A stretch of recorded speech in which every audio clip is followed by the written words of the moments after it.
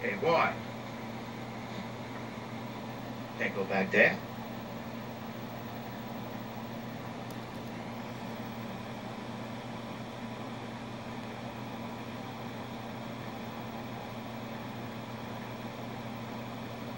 Chief!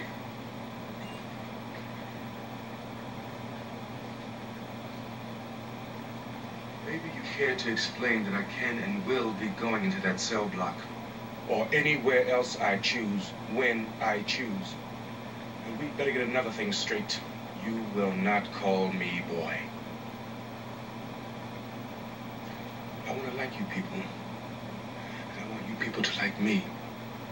There can't be liking without respect, and until there is that respect, you will call me Mr. Tibbs.